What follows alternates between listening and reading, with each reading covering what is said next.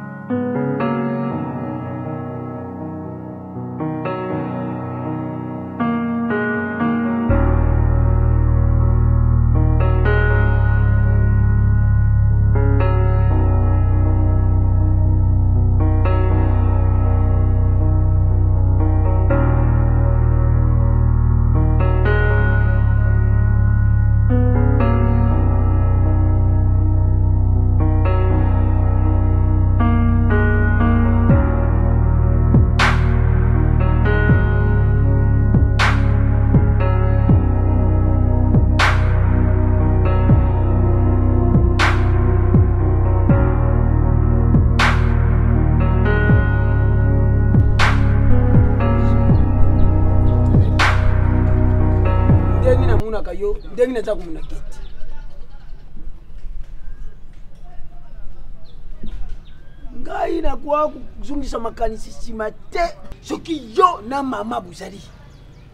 amizu geti eliba fiere toi tu le sais oyebi ko yaya oyebi te aluba na ye ayebi afrika kuna na paye mkonzi na bimaki zuba mais awa sisise mwa oyebi mama nayebi makambo wana te nga nayebi ke geti aza vierge o nga na sola na geti yango wana bino bana mike bokoma na basekre moko makasi mpe sekre wana soki ebibi epanzi mbokayo mama na ye basololaka nini na mwana ngai moko papa nafandisi mwana na ngai en secret biso mibale mwana ndenge nini mwana kemi mama sava omvimba doki mwana aza mobimba aza ta na litono te mama ni pota ya moke ye te te neti nga ndenge nazwakatiaka nga mpe nauta na ozebu na yomba te na miso mwana geti akoki kokosa baninga nyonso me nga te nga moko ezolekela ngai ke geti aza devierge ndenge nga nasolola na ye eloko ekoki kosalama boye te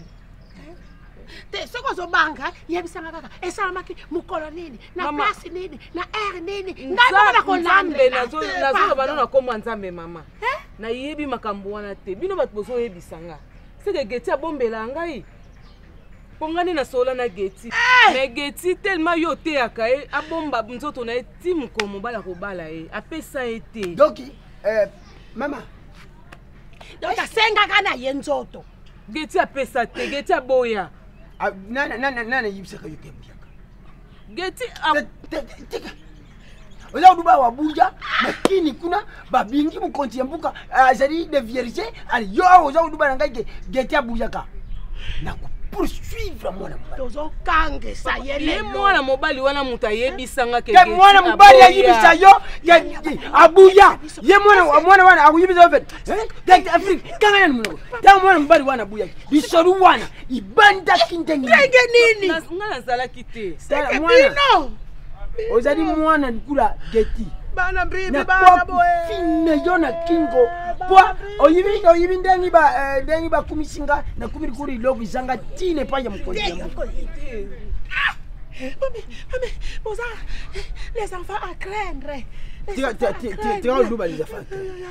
yo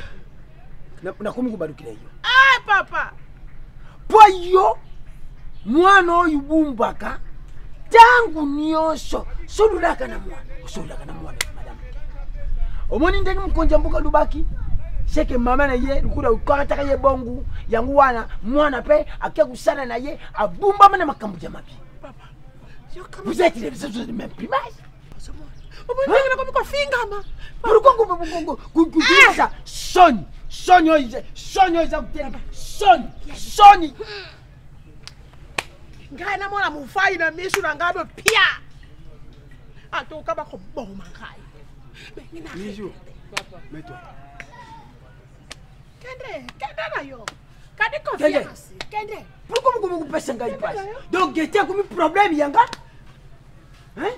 soki nayaka na mbuka oyo nabutaka te balinga koluba babenganaka na mbuka nabuta te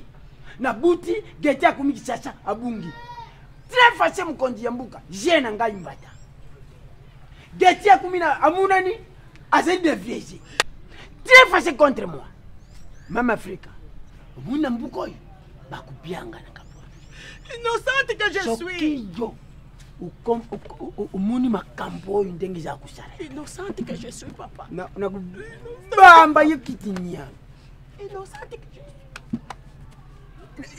kebe innocente que je suis innocente mwana de verige innocente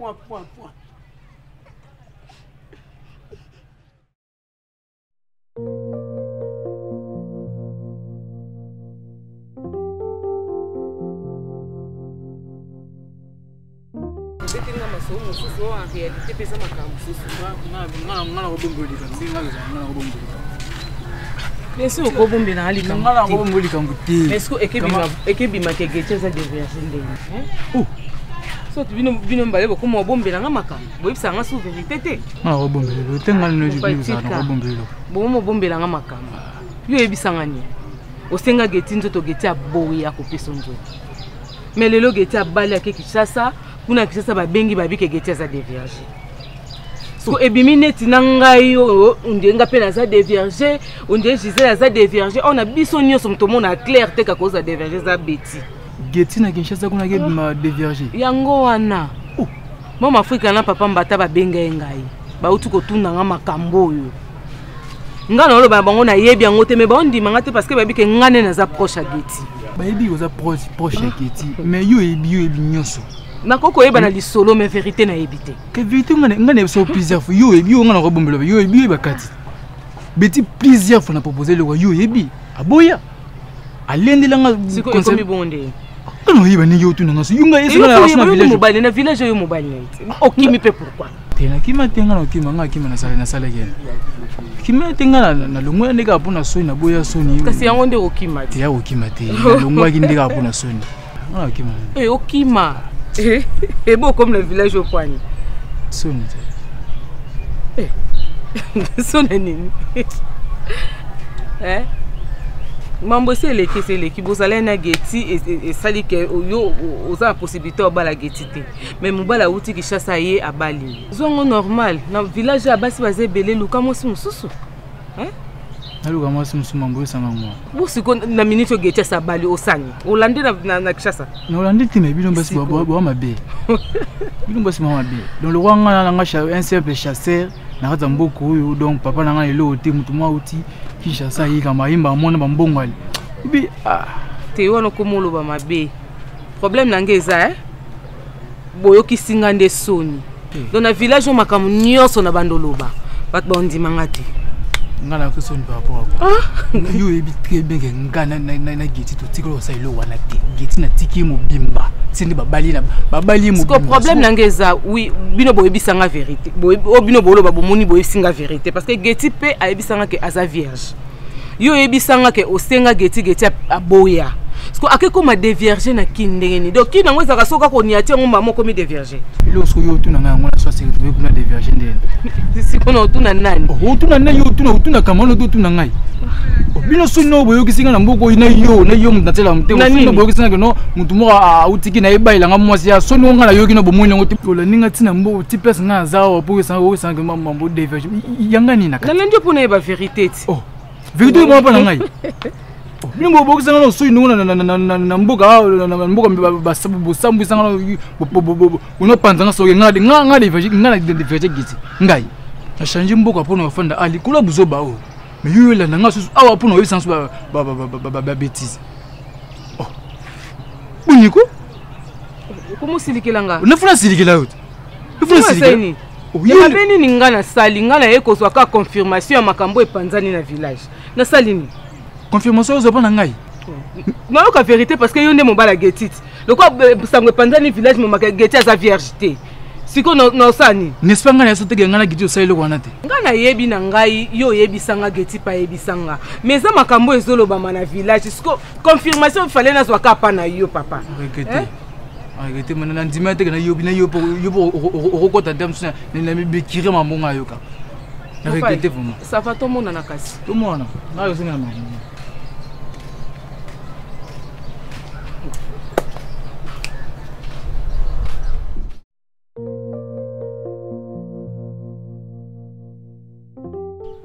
Eh, lobi lisusu ngai nayoka susu soni makambo oyo moninga na bino asali mpona nini boza nanu bana mikie bolingi kaka lokola pwa kaka pwa cibolenge na bino bozobatela te pourkui benefisi na yango eza nini ti lelo boza na ndako ya baboti mobali esengeli aye epai na yo alingi yo aye kokuta yo moseka ezalaka na valere na fami ya tata na fami ya mama na biso bandeko toza pene eza valere siko bino nini nini nakozala su na konfiansa nani moto oyo tobandaki kotila motema mwana moko malamu kimya na mboka atanga makambo nyotu kalite nyotu epai na ye eza total me tala eloko ake kosala ah, boyebani basekele bokangaka minoko na bino eloko nini ezangi ke papa namoni kingandi kuna bazotelema na mwana mobali moko nano abali ye te bobombelaka nini esengo nini oyo bino boyokaka esengo ya libala ezalaka efo ozala na kati ya ndako ya libala na yo ya na ndako ya tata na yo basaka na nzoto na yo basilisa yango esengo c'est ça chef c'est ça neti nga bo naza vierge nga nayebi mibali te geti mpe ayebi mibali te change maloba oyo ozonga obimisela ngai koza soko ndenge nini ya solo nazoloba verité nga nakende kokutana mofai ti place azali alobi atikali koyeba nzoto ya geti te sikoyo nani ayebi nzoto ya geti oyo mobali mbala moko ake kodecouvrir ke aza vierge atikali koyeba nzoto ya geti te nani ye batambolaka mpo geti abandaki kolinga kopesa ye nzoto ata moke te aboza ah, bana mabe sikoyo ye geti ake kosalela yango na kisasa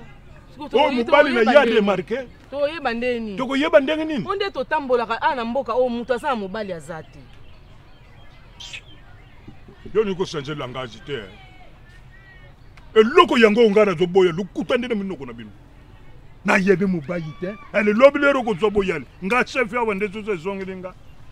nga moko nazokamwa mpe na ngai nazalaka mingi na geti nazokamwa ti bazoyo bageti aza vierge te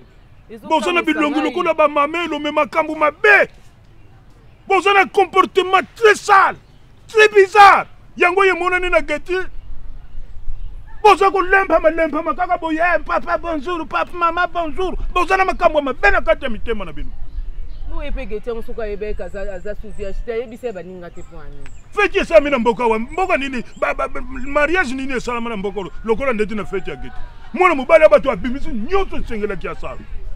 bata bapesi mbongo apesi bino niotu na mboka ya bosepela bolia bomela oui boza bato na kokopesa susu ta confiance te non boza bana mabe yo okendeki okutani na mofaya mofaya alobi kai ee eh, eh, ngai ndenge naza boye banda to bandaki kozala na mboka ti asimba nzela akendaki sasa natikali koyeba nzoto na ye te si mofai moto alobi te bo sikoyo anzelu lokola eyaka mpo ya mama maria te eh, angelu aye mpo ya mama maria eloko camarade na bino asali tobenga angelu otona kisasa ndenge ake kuna mikolo mibale misato awa asi azwi mobali mosusu pourquoi asali comportement comme ça mpe bandaki kisasa atikani naye kobenga tala azotia bolo lokola bamamelo na mofunuku akangi kitamba na azotia boye mamelo lobi ekozala nini ekozala manzaka otie motu na sete soni te epai ya nani ngai sefe te oyo ngai namema kilo na bino lelo nakomi kofingama partout likolo ya banani matoyi oyo basala yango pourkui ata soko bakati yo litoyi moko seke moko ekoyoka boza bana mabe boza bana mabe eloko nabengelaki bino yango wana oyo bino botikali bose controle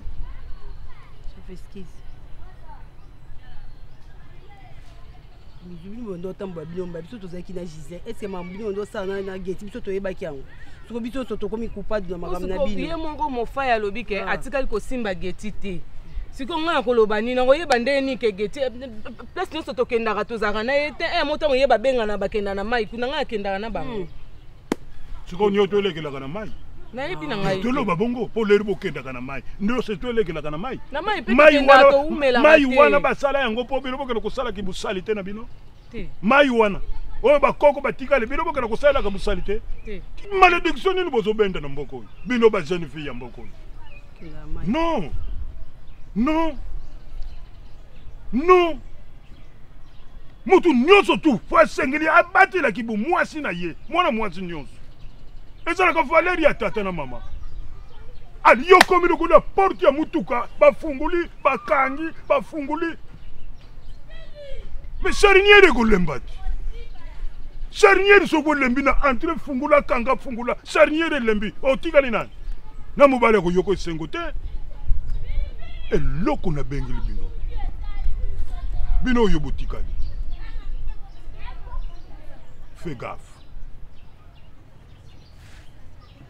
bolongola misu bana mabe baza komonana lokola bana malamu nzoka vino yo leka boye yo ale kende boye kende boye kende nzela boye kende boye finga bino na français mo bokoyoka te le sale fille pite tu ne connais les garçons on sait rien les parents mangent pas yo nde mufai ngai papa oza na mbula bolo 22 ans 22 ans oui. yo kokobokola mwasi na ndako amufai te yo okoki otanga classe na yo te lobi ozala moto hein? siko yo na age oyo ya yo yo fo okende koluka basi a mofali nazotuna nani yo na age oyo ya yo yo koko bokola mwasi esengo nini oyo yo oza nango na mposa nzoto ya mwasi yo na 22 ans tata na yo to na mama na yo nde bapesa yo edikatio oyo ke soko nakomi jeune garçon nazokola na, na, na kati ya mboka ale basi nyonso to bakoma ya yo siko yo na age oyo yo oza nango oza na posa ya nzoto ya mwasi posa ya nango nini Hein? Te, nazo tuna yo te. Posa nzoto ya mwasi na ajo yo za na ngo 22 sa ozo yebisa ngai. Okosala na posa nzoto ya mwasi nini? Okomo loba te. Mwana mabe. Verite yango nde bimina kisasa. si mobali na mboka eza yo te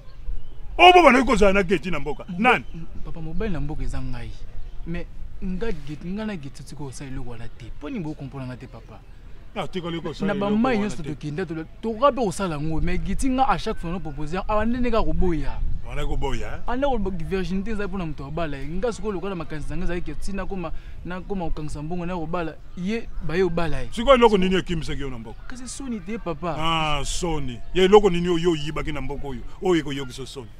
mpo na nini osengaki geti nzoto bongo te biloko ebele olingaki kosenga pa ya geti basengaka fufu bapesi yo fufu okoki kosenga mpe mai bapesi yo yo oke kosenga nzoto mpe osalela yango verite yango wana na kisasa verite yango wana sikoyo nani geti azwi molimo mosantu lokola mama maria bana mabe nayebi eloko te na bandenge kosenga ye tozokende nzela ya mai kutu eloko te eloko te nzela mai osenga fufu te liboso ya ndako ya porte bageti osengaka fufu te pourkui keba soni wana lelo epai ya nani kai kaka ngai te yango ezozongela ngai eza oyo bokanisaka na te ngai nayi nyonso na mambo nyonso ngai naye koluka yo mpo batika nde kotambwisa nkombo na ngai ndenge mabe batika kotangisa nkombo ngai na makambo oyo nyonso nayebi eloko te ntina ndaki ese deverge kuna ngai mambo nayebi na ngango te papa moyibi sandima te natuni yo moto oyo ayibi asandima nayebi eloko te mais na awa na mboka mobali ya geti nani si yo te ngai papa après eh, mwasi na mobali soko bavandi suka nango ezalaka nini suka nango oyo wana mai totikala kosala yango te papa bondimela nga te mpo ani papa totikala kosala eloko wana te geti ndenge balika epa bango virginité kaka mpo na moto ya bala soko ngai naa na makoki ya bala ye te nda bomela yango mobali oyo auti kobala ye récemment nga atikala opermete nasimba ye te bana bokola bien ti obota suki ya pembe na mandefu fo ozala na verité yoka tata na mama makambo bazoteya bino oya magwe yokota boye obima boye okota boye okowumela te na mokili oyo me bakoko kositikola kosimba bango te mpo na nini bozotambola na matoyi mangongi toujours rapport toujours rapport toujours rapport geti akomi kisasa abungi nzambe grand omoni ye bakuluna bakangaki ye geti avoya na ndako ya libala mobali aye kodecouvrir ye aza moseka te soko yo motu okomisaki mai mungwa soko nini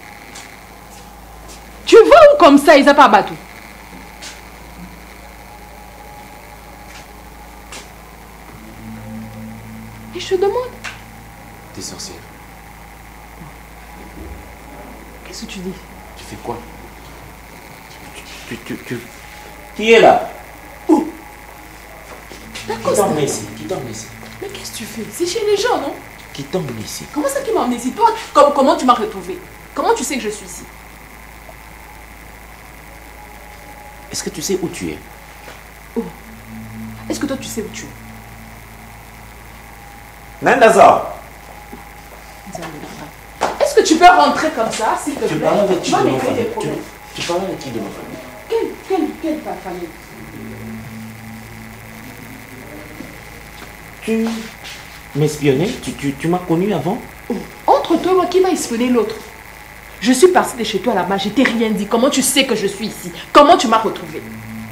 C'est toi qui me fait espionner alors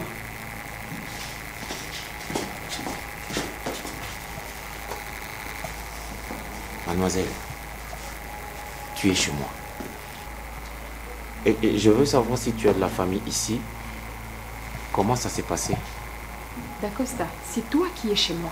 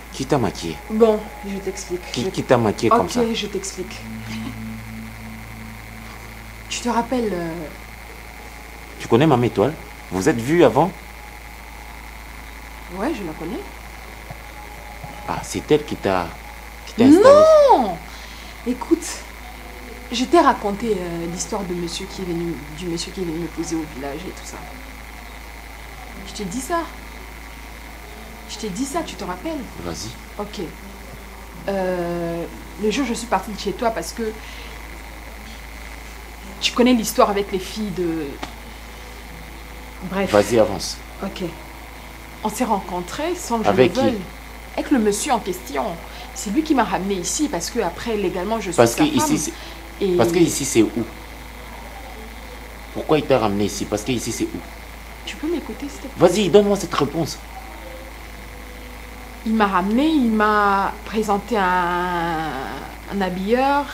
Non, mais pourquoi t'as amené ici Ces messieurs-là ah, C'est chez lui. Et toi, comment tu m'as retrouvé au fait Je te parle, non Tu peux m'expliquer, s'il te plaît Tu as de la famille ici Ah, d'accord. Tu es déjà là Ça va, chérie Ça va Tu vas bien Ok. Ça... Ça paraît surprenant.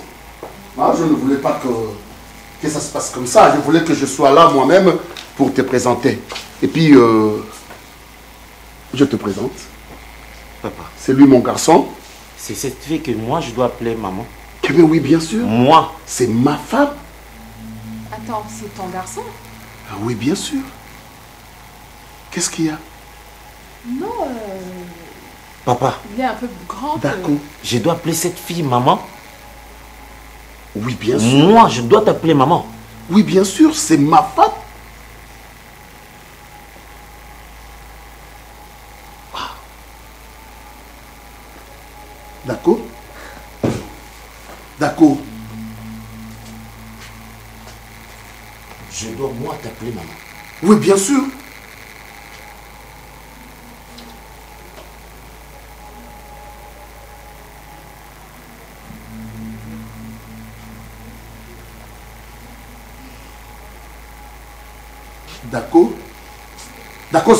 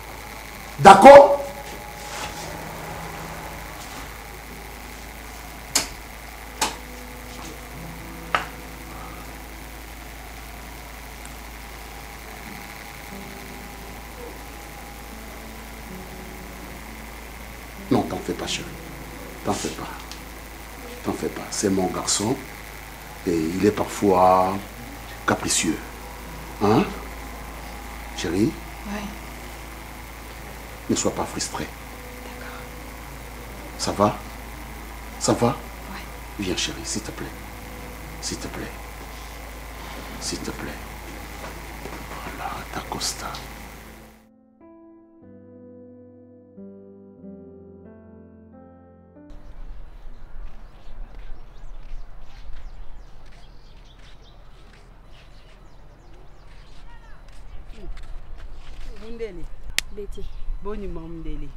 matondo kimia eh? kimia eza nango eh, ta makambo ya camarade na bino geti geti aka na ye vierge te eh. oyo bakokoselaka mofai mpo bazalaka ensemble na mofai lelo bere nyonso ekwelaka mofai bakokosela ye geti wana aza na ye vierge te ye ebayeke aza vierge te wana sikoyo awa ah, sangwa kaka na mboka ah, mabele oso eningani mofai aza na problème or ke ngai nayebi mofai na geti basali te biloko moko te ngai nazala na bango ozokotele boye ndenge nini hmm? geti akende kinshasa na aza ni vierge te ezo kotele bongo mpo na nini otiki okotele makasi bongo ozokotele mpo hmm? mofai ngai navanda na bango makambo wana matondo sikoyo eh. soki ye aza vierge te ndenge ebimi kuna na kini mpa tata wana hmm. seke lokwa ye abima na kamaradi na yo te mofai seke geti asali kinduma na kinshasa hmm. estce ya solo vraimen makambo toloba awa na mbokolo donc geti asali kinduma na kinshasa sa vraiment ya solo donc azalaki devierge avakende na ndako ya libala yaya mpo yo ozokotela kamaradi na yo ozobeta se te ke oyebi te batikala kobima te mpo baza otsoa na yo okomprane nga te ah! Ah, ya mai eninga na pamba te mai eninga na pamba bino bolingo oloba nini kasi mofaya kaka moto ayebi makambo yango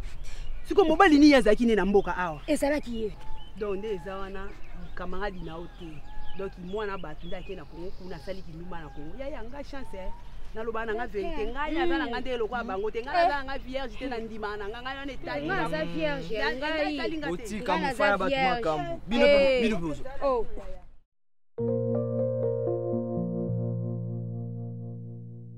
est-ce que opesi ata temps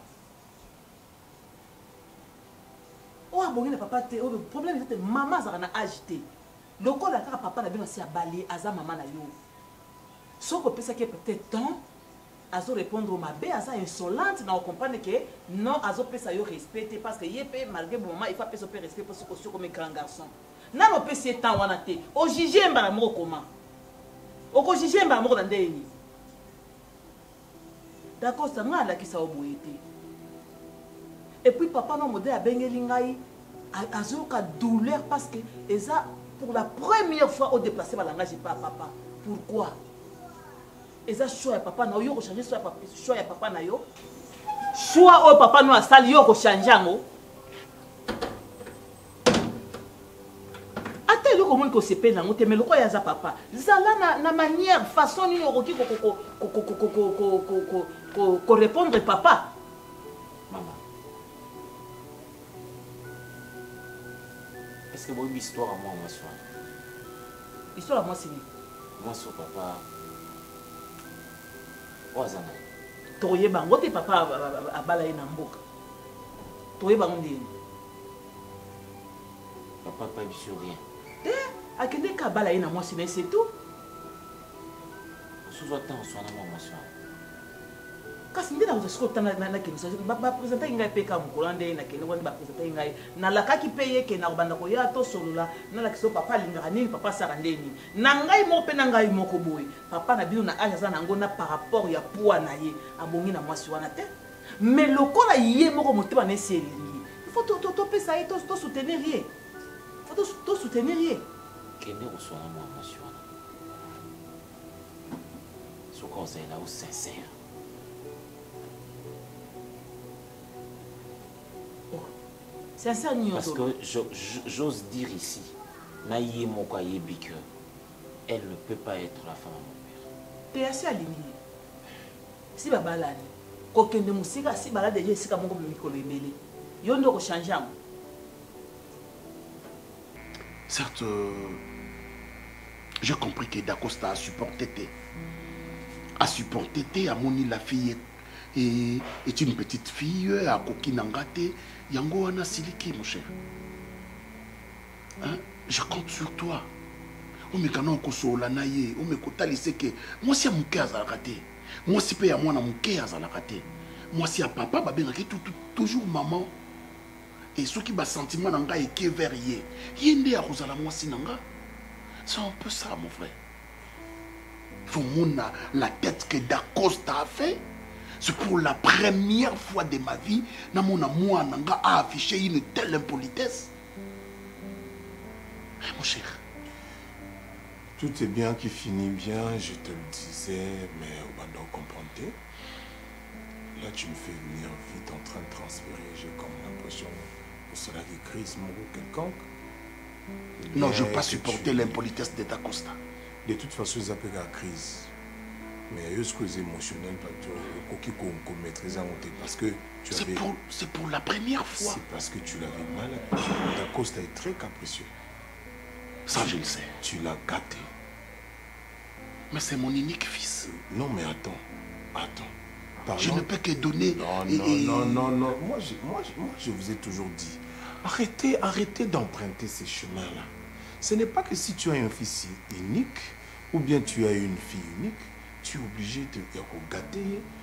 pour que éducation na ye ezala gate mpe demain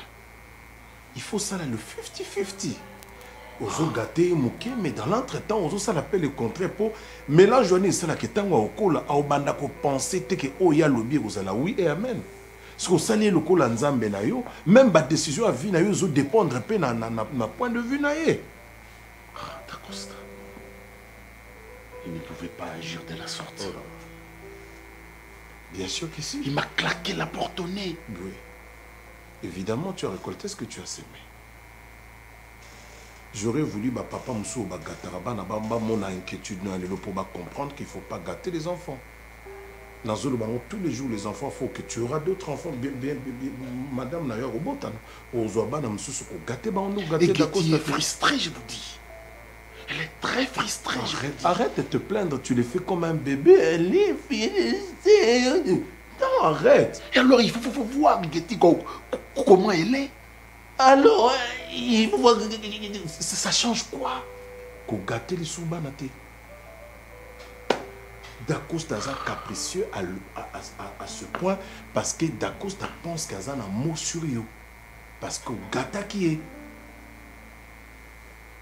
Bon, de toute façon, c'est un garçon raisonnable. Avec moi, on parle bien. Et puis, c'est un garçon intelligent. Je, compte euh, comment on a une âme qu'on convaincre en espérant que avec moi, peut-être ça, fait, ça, ça peut se régler. Hein, parce que toi, tu l'as gâté, moi non plus. Hein. Moi, je parle avec l'une lui, cola. Muana normal et puis na ko faire voir ye et puis na ko faire comprendre ye je suis sur qu'ako ndima soki andimi te et ben okozala oblige ya ko plier na ya ko se plier na na ba exigence na ye je compte sur toi. Ndima yango nalingi nayebiso kaka ndima yango. Boyebi eloko te. dacosta wana papa na yo soki yo olingi banda kosala ke mwasi wana olinga ye te lelo yo na papa no bozala na konfi yeba ke akotika mwasi wana te mpo na yo nakobenga mwana je ne dis pas naza na mposa napekisa ye te mais justement nga nakobenga na mwana mwasi wana mama te wazi otie papa na wapi otie papa na wapi papa na sikoyo akotela yo to akotela mwasi na ye le temps est le meilleur allié de l'homme dit-on je comprends que boyebi na bino lonte mais mwana mwasi wana justement yango wana ocomprendre te mais mwana mwasi wana ayebi de sa propre conscience ke nga nakobengi mama te epuis ye akoza mwasi ya papa na nga te te ya kasi akoki kozala te selon yo mais selon papa na yo mwasi na ye wana mbala moko kobenge mama dacosta nateya yo mokili eloko mosusu komonaka yango grave te mpo kosamporte boye soki oza na motema monene te okei mpe mokili etikali nyonso ekomelo na vi mona yango normal lokola omoni papa alingi wana malgre age na ye ozoka kobenge mama te lokola papa oyo abota yo nde alingi ye aza mama mobali nde adage elobaka mobali ya mama aza papa mwasi mpe ya papa aza mama Azala azala ndenge nini azala mukuse muke mwana muke ndenge nini lokola ye nde azo partage butu na papa na yo ye wana mama na yo. En plus en plus mon frère les enfants baza ba baza surtout un enfant na déjà na age ya ya Dacosta il fallait que prépare ye tu aurais pu préparer mwana ayeba qu'un jour tu vas trouver une femme et que mon collègue, en plus, tant que trouver, Préparez-moi, moralement, après représenter moi, si c'est pas que. Avant de viens, bon, moi, c'est Non, mon cher, je hein? lui ai annoncé en, passant, lorsque la société m'a exigé que Nabala, il faut, il faut que je me trouve une femme au Nabokyo Bal, je lui ai parlé de ça. nayebisi ye un jour ozala surpris te parce que la société m'exige que naba c'est pas pour rien aussi na amenagelaki ye ndako wana na natindi ye bazala kuna na, na, na, na, Dacoste, na, na étoile pour que nameka nasala mpe une autre vie avec moi ye mpe azala responsable na ye tu as bien dit oyebisaki ye en passant on croirait que c'est une histoire ils ont projet à long terme mais tant au commis pembeni pour exécuter On aurait pu appeler ton fils tranquillement d'une manière sage pour nous c'est bon maintenant je trouve quelqu'un je vais aller au village je vais officialiser ma camboutou et tout et la femme finira par arriver ici tu ne l'as pas fait malheureusement et certes je ne pouvais pas chercher son accord pour Nganabala. on ne parle pas de Kobala, on parle de préparer moralement Kazo recevoir Mama Yassika ayeba quel que soit son âge quel que soit sa trempe quel que soit ndenge il mais à la préparé pour que ayamba bien mais c'est un homme maintenant hein? ce n'est pas un petit enfant qu'on doit préparer préparer préparer dacosta est un homme hein? il devrait au moins me comprendre mon frère hein? mon cher je vais aller finir ce que j'étais en train de faire après on va trouver un moyen de, faire résonner au petit et puis euh, en espérant que les choses vont se passer ok ça va je compte sur toi Merci beaucoup. Sinon, je dois parler à, à Getty, lui faire comprendre que mon fils est comme ça, il est capricieux, et ainsi de suite. Tu sais, tout doit se préparer dans la vie. J'ai comme l'impression que faire les choses à la hâte de fois nous crée toujours des problèmes. Si on n'a pas de problème aujourd'hui, c'est demain. Si ce n'est pas demain, ce sera après-demain parce qu'on a mal préparé certaines choses au préalable. Tu dois toujours faire très attention à tout ce que tu fais. Parce que si tu commences mal les choses, ça se termine toujours mal. En tout cas, je ne parle pas d'un seul domaine, non. Dans le domaine, non, sur la vie, il faut toujours commencer,